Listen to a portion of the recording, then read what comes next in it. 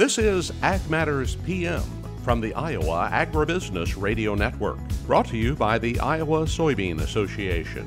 Your daily recap of the information that affects Iowa's farmers, producers, and consumers, right here in the heart of the heartland. With reports from our award winning broadcast team of Dustin Hoffman, Riley Smith, and Mark Magnuson. Now, from the IARN studios in Des Moines, here's Riley Smith. Good day and welcome to Ag Matters PM from the Iowa Agribusiness Radio Network. I'm Riley Smith. Today is Wednesday, June 21st, 2023, officially the first day of summer. We're so glad you could join us for today's show. In today's episode, I talk with Iowa State climatologist Dr. Justin Glisan for a weekly chat where we talk about how the atmosphere is really influencing these dry conditions in the soil right now. We also have a check of that ag weather outlook, but first, let's run down the markets. It's time now for the Ag Matters PM closing market summary, your source for market analysis and settlement prices from the day's trade in Chicago, courtesy of the folks at agmarket.net. At the end of another trading day in the ag marketplace, we're here with Jacob Burks of agmarket.net for a bit of analysis today. Uh, first off, Jacob, you know, how have the grain markets been looking today? Well, if uh, if you're buying grain, you're uh, you know you're you're happy. If you're buying long the futures, you're very happy. I mean, we saw a, an explosion of a day here mainly resulting off of 6% lower in the good to excellent category on Tuesday for the corn, 5% lower on the good to excellent category and the soybeans. And the, the, the premise of that's most of it's coming from Illinois, and, and, you know we're down below 36% in the corn, uh, good to excellent corn. So you're seeing a, a large producer of, of our of our major crops that uh, that are that are seeing some dryness and the drought hurting. So therefore, we've you know got 32 cents higher here at the close in the corn. Uh, we're 35 cents higher in the soybeans. Uh, we're seeing 40 cents higher in the wheat. So uh, for the grain market, it's just uh, this is one of these uh, drought-driven, supply-driven uh, markets that that are really quick, really fast, really far. Well, and with those, you know, reports of the the good to excellent rating, we've seen, you know, pictures everywhere of the of the corn, you know, how it's looking in the eastern corn belt uh, in particular. And man, it's really rolling up and uh, taking that uh, drought on the chin right now. Uh, yeah, I mean, uh, I'm always real reluctant to look at pictures whenever you whenever you're going through some of the social media or even just when your friends send them to you because they probably didn't take a picture of the best part of their field, right? But that's but it's becoming everywhere now. Like uh, even even right here, I'm in the southwest corner of Wisconsin. we're in that area. We're dry. We haven't had a good rain since since Mother's Day. but really, with the cooler temperatures, the, the, the crops look better. I mean, I'm not going to say that they're they're developing and there's problems out there on the horizon. Uh, there is, and you don't have to go very far down in northern Illinois to start getting into some of the the you know, lighter soils that uh, that look you know look rough, and, and and the corn's now starting to roll significantly uh, around here from from what I'm saying. I've been I've been here all morning talking about what we do now, and so it's uh uh, it's something that we're, we're starting to see some of this uh, the effects of the, the dryness now heat uh, showing up that's really really affecting this corn crop and, and putting a putting a fear in the market. Yeah, I think that good to excellent rating will be interesting to watch into the future here because you know we had a lot of excitement with that El Nino weather pattern forming and you know it hasn't made its way to the the Midwest quite yet, but when it does, you know we could see those uh, cooler temperatures and, and more rain like we've been wanting to see. Uh, yeah, I mean, you got you start to get to these levels here, and there's there's, there's things beyond the weather that start to take an effect here.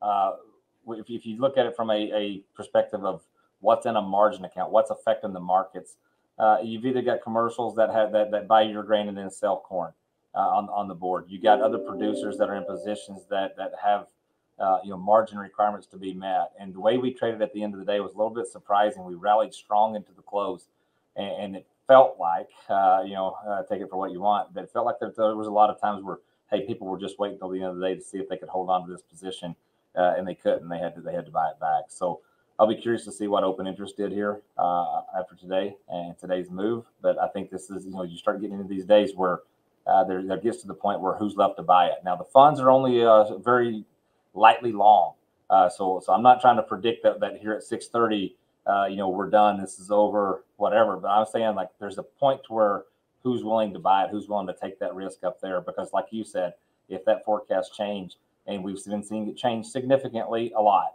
and I think that that could be something that uh, you know who wants to have their hands on a lot of exposure here uh, if we do get turned around. Because if we get rains, it's going to turn around fast. And of course, at this time of year, the big story is always in the grain markets. But what have we seen in the uh, livestock numbers today? Oh, uh, the, the, the the grain markets have finally showed up to affect the cattle market. I mean, the, the feeder cattle uh, looking at four and a half dollars lower at one point. We were neg- we were we were limit down.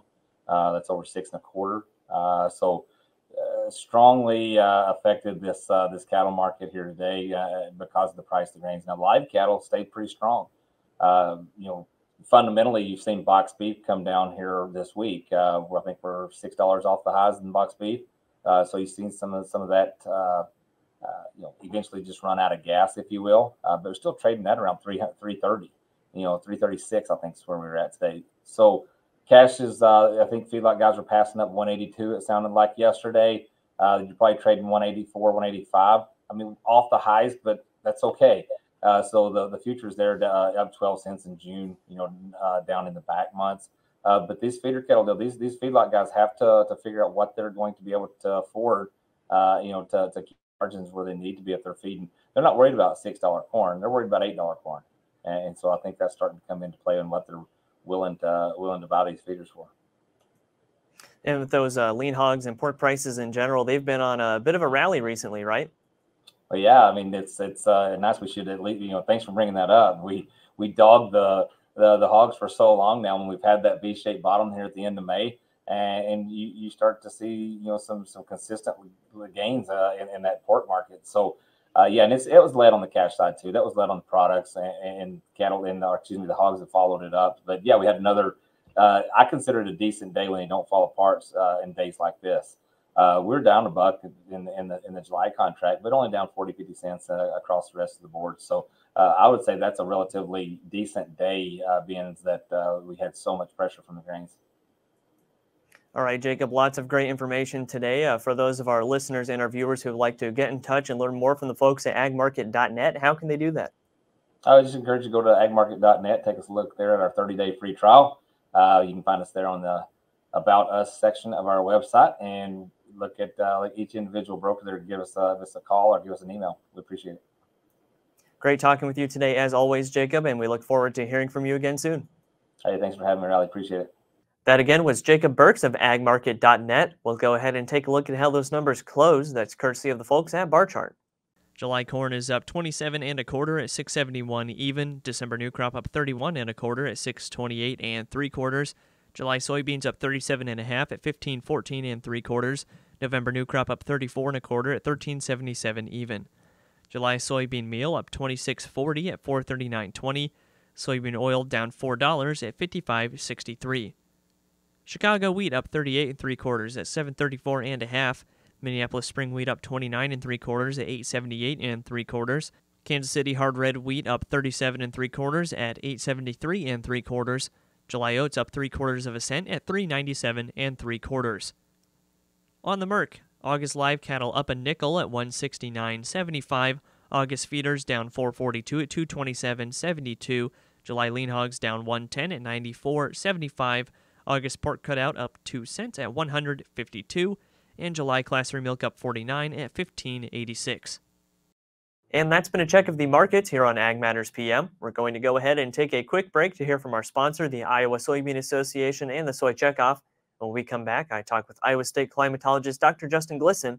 This is Ag Matters PM.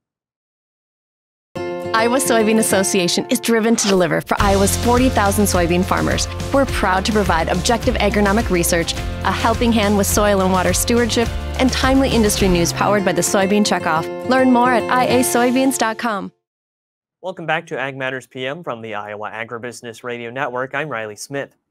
Well, we know that we've been in drought conditions for quite a while now, and of course, a lot of that is due to the fact that we're not getting as much rain as we really need to see but as I talked with Iowa State climatologist Dr. Justin Glisan, he brought up the atmosphere and how the dryness in the atmosphere is actually sucking that moisture from the soil. And even if we do get those rains, it's not sticking around for very long. Well, we are here again this week with Iowa State climatologist Dr. Justin Glisan for a check of the drought conditions and other weather happenings here in Iowa. Now, first off, Justin, how's that drought monitor looking for this state? Have we seen any changes recently?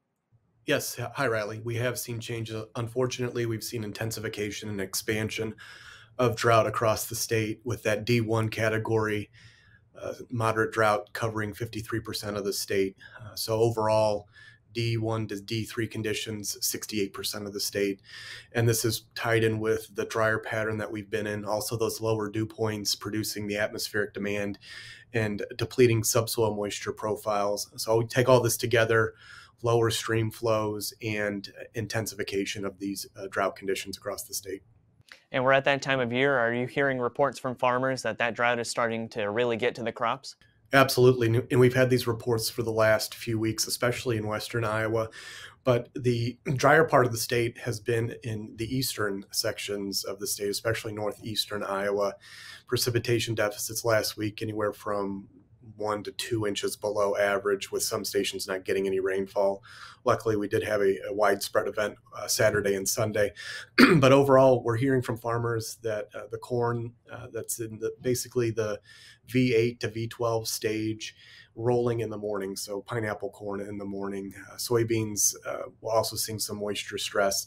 Uh, and when you when you hear those reports early in the morning, and, and our field agronomists send me uh, text messages with pictures almost every day when they're out doing their field scouting, uh, it does really show that uh, drought conditions are taking hold out there right? And you know, it can be a little confusing because you know, over this past weekend, we got quite a bit of rain, especially in this Des Moines metro area. I mean, it just kind of suddenly I remember, you know, I was looking in the evening and it was clear skies, and then all of a sudden there's rain clouds, and we got a, a ton of rain dumped. But like you said, is it a combination of yeah, we're getting those rains and they are isolated, but those atmospheric conditions are really just kind of sucking the moisture out of the ground? Right. So we had great conditions for these thunderstorms we saw Saturday night into Sunday. Um, good totals, one to two inch totals. Story City had a 2.6 inch total, which was the highest for the week. So definitely central Iowa did get the beneficial rainfall. We did see widespread rainfall, though totals were a lot less than those two inches.